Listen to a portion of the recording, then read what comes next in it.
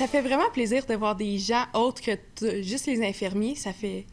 C'est comme un petit spectacle, mais juste pour nous. C'est vraiment agréable. Euh, ça fait trois semaines qu'on est à l'hôpital. C'est des infirmières.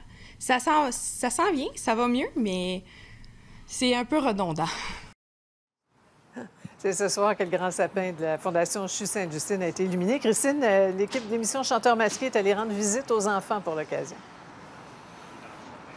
Oui, et vous avez entendu, Sophie, ce que ça donne. Ça a donné de beaux moments pour des familles qui ont reçu cette belle visite. Ils sont derrière moi. Hey, ça en fait du monde, là.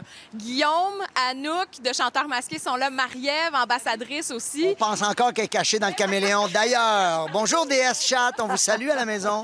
Comment ça s'est passé, là? Vous êtes promenés sur les étages cet après-midi. Ben, c'est de toute beauté parce qu'on va juste dire bonjour aux enfants qui sont heureux de voir les masqués, euh, des fois un peu euh, les animateurs ou les enquêteurs. Moi, je dirais qu'on est très secondaire aujourd'hui, hein, parce que c'est vraiment les masqués qui ont volé la vedette et avec raison. Des étincelles, des sourires, c'est ça qu'on est allé chercher. Oui, c'est ça. Et Marie-Ève, ben, tu peux nous parler de la campagne un peu parce que c'est- Ben oui, c'est le lancement, puis c'est une campagne qui t'est chère aussi. Tout à fait. Ça fait des années que je m'implique avec euh, la campagne du Grand Sapin de Sainte-Justine. On lance ça aujourd'hui. On a besoin de vos dons pour allumer ces lumières dans ce magnifique sapin. Et ça s'adresse à toutes les familles à travers le Québec. Tout le monde a besoin peut-être d'un jour profiter des soins euh, du CHU Sainte-Justine à Montréal. Ouais, et c'est ce que, ce que la famille euh, de Luna un peu plus tôt m'a dit. Ça fait tellement du bien de savoir qu'il y a des gens qui pensent à nous. Et c'est comme ça qu'on le fait avec les lumières.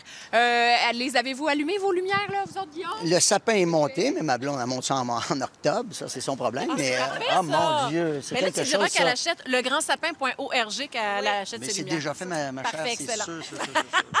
Ah, nous aussi, les décorations sont faites. On en a beaucoup trop. On continue à en faire à tous les jours. On a des projets. tous là. les jours. Oui. Parfait. Et là, on a jusqu'au 7 décembre pour allumer les 550 000 lumières de ce beau sapin-là qui est derrière nous. Merci à vous tous. Merci beaucoup. Bonne soirée à tous.